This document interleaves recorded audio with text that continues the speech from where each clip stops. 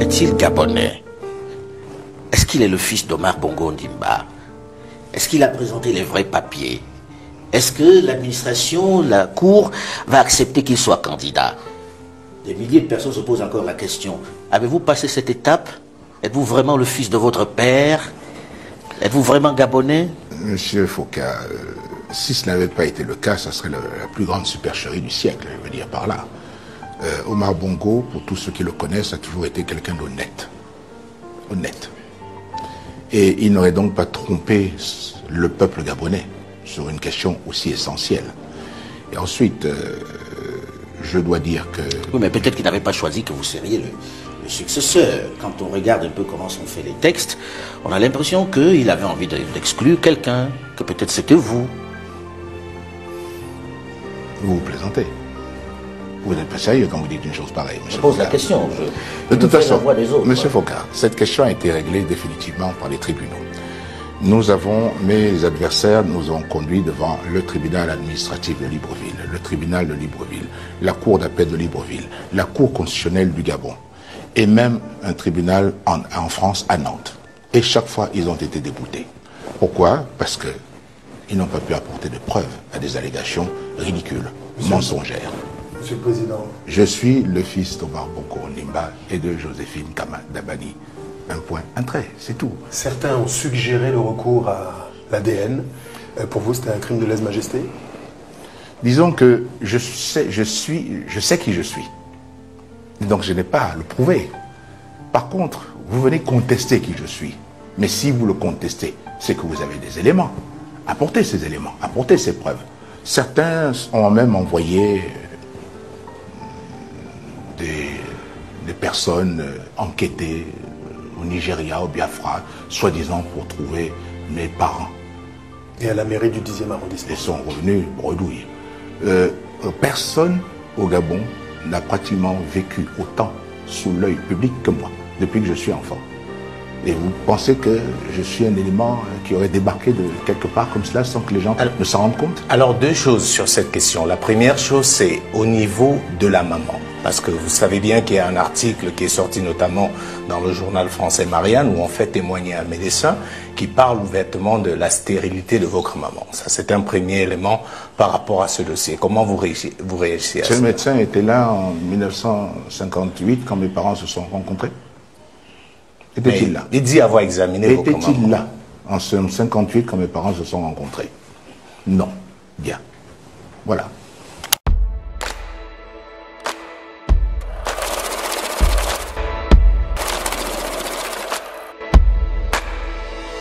Nous étions le mercredi 24 octobre 2018. Ali Bongo est à Riyad pour participer au sommet sur l'investissement, sauf que un coup de frayeur s'empare du clan Bongo. Ali est victime d'un accident cardiovasculaire. Très rapidement, l'information prend de l'ampleur sous forme d'une rumeur dans tout le pays. Les autorités gabonaises font tout pour camoufler l'information. La présidence indique dans un premier temps que l'homme souffre simplement de fatigue intense, puis dans un second temps qu'il souffrait de saignements nécessitant des soins médicaux. Ce qui n'était véritablement pas le cas. Durant son absence prolongée, une première tentative de coup d'État a eu lieu. Internet a été très rapidement coupé dans le pays à cause de cette tentative de coup d'État. Les auteurs de cette tentative de coup d'État ont été très rapidement neutralisés. En 2018, Ali Bongo apparaît pour la première fois en vidéo. Ali Bongo, filmé de profil, jamais de face. Ce sont les premières images du président du Gabon depuis son hospitalisation le 24 octobre en Arabie Saoudite. Ali Bongo est en convalescence au Maroc, où il a reçu la visite hier du roi Mohamed VI. La présidence gabonaise ne donne toujours pas de détails sur le mal dont il souffre. Seules euh, des sources non officielles évoquent un accident vasculaire cérébral.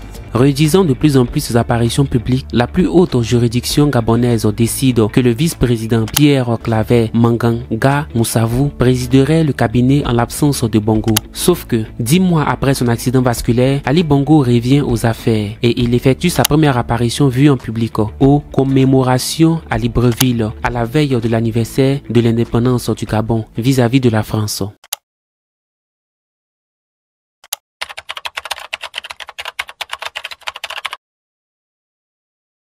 Les spéculations sur la capacité d'Ali Bongo à diriger le Gabon se sont multipliées, surtout que le véritable pouvoir était détenu par Sylvia Bongo, l'épouse du président, qui avait acquis une influence croissante depuis l'accident de son mari. Nul doute que Sylvia préparait sans doute son fils pour succéder à son père.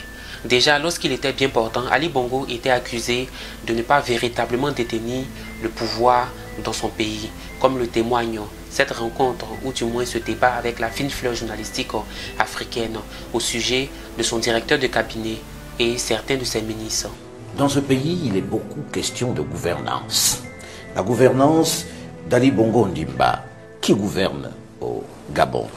Est-ce que, est que le pays est dirigé par votre directeur de cabinet qui serait doté de pouvoirs extraordinaires? Monsieur, Monsieur Jean Ping a dit le trésor public c'est lui qui dirige. Non, monsieur Foucault. Monsieur Akombessi est le vrai président monsieur de ce Foucault, pays. Monsieur Foucault, ne racontez. Vous n'allez quand même pas vous aussi. Ah, je me fais Quelqu'un d'intelligent comme vous ne peut pas tomber aussi bas, monsieur Foucault. Vous m'avez habitué à autre chose. Vous m'avez habitué à autre chose. Non, monsieur Akombessi, monsieur directeur de cabinet. à votre connaissance les contradictions de votre société. Il n'y a pas de contradiction. Vous vous amenez à apporter des précisions comme vous le faites si bien Il n'y a pas de contradiction. Mais vous doutez, vous doutez. En plus, il m'empêche de répondre. Chaque fois que je dis quelque chose, sur les points interrompre. Monsieur Akourbessi est un, est un collaborateur comme beaucoup d'autres. C'est tout. Il n'est pas le président élu de ce pays. Non, monsieur il est, on ne va pas prendre ça aussi facilement. oui, je ne veux pas comprendre ça aussi facilement. Parce que quand vous le dites, le poids, euh, je, je n'ai pas rencontré un seul Gabonais qui ne pose pas ce problème. Ça veut dire au-delà, mais, permettez que j'aille au bout, vous allez répondre. Au-delà de la question de l'origine, il y a un problème quand même de cristallisation. Je peux vous donner des noms. Donnez-moi des exemples. J'ai rencontré justement l'ancien président de l'Assemblée nationale qui pose le problème du fait que aujourd'hui le véritable pouvoir n'est pas entre vos mains. Monsieur Ping l'a dit.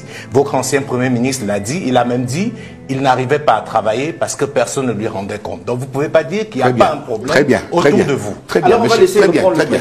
Je suis seulement en train de vous dire.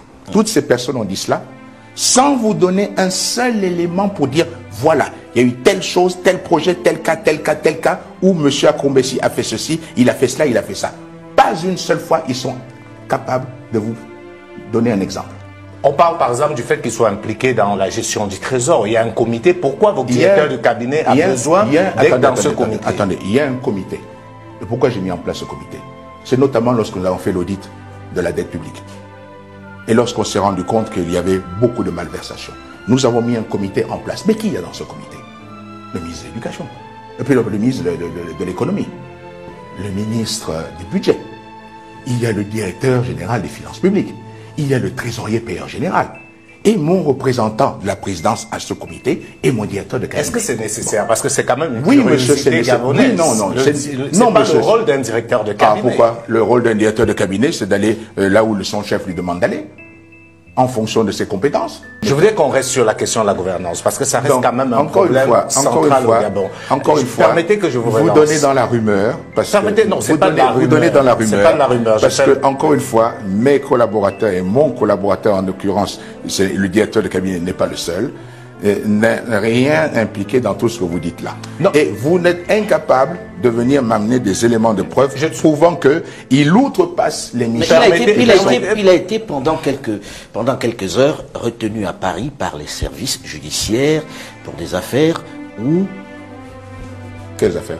Mais il a été retenu l'été dernier à Paris par et la puis, On lui a posé des questions, il a répondu et puis il est parti. Le même jour.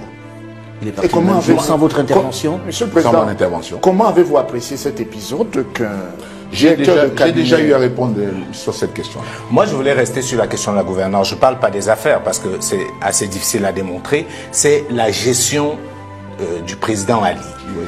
On a quand même eu l'opportunité de discuter avec l'un de celui qui a été l'un de vos proches collaborateurs à un moment donné, votre ancien Premier ministre. Alors, il nous dit des choses attendez, graves. Attendez, permettez attendez, termine. attendez, permettez qu'on attendez, termine. attendez, permettez que je termine. Attendez, et puis je vous laisserai répondre. Attendez, attendez non, je veux préciser une chose. Avant lui, j'ai eu un autre Premier ministre. Là n'est pas le problème. Attendez, non, si, si, si. Vous a-t-il dit la même chose? Là n'est pas le problème. Non, M. Bioreba a été Premier ministre. Est-ce qu'il vous a dit la même chose que M. Ndoxima Il n'a pas la même posture. Si M. Obioreba vous avait dit la même chose que M. Ndoxima, vous auriez pu établir qu'effectivement, il y a un problème. Non, non laissez qu'on vous pose des questions. Vous voulez faire les questions et répondre vous-même. Moi, j'ai une ben, question. Quand je réponds, souvent, vous me coupez la parole, vous m'empêchez. Et vous, lorsque, la, lorsque la réponse ne va pas dans le sens que vous souhaitez, vous m'empêchez de répondre. Je dis bien, votre ancien Premier ministre dit il a fait plus de deux ans sans savoir quelle était la situation exacte des comptes du Gabon. Il a demandé au, premier au ministre des Finances de lui rendre compte, il n'en a jamais été question.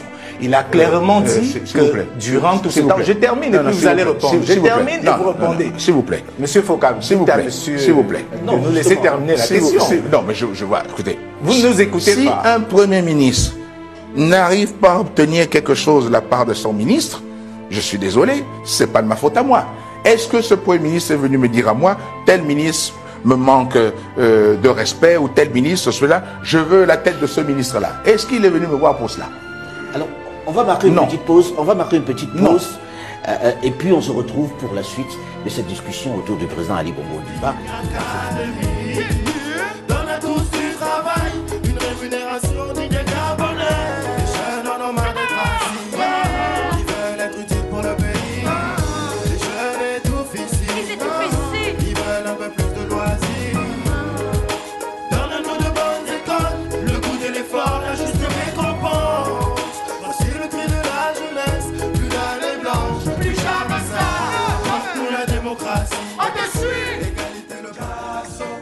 ajá jèrè ká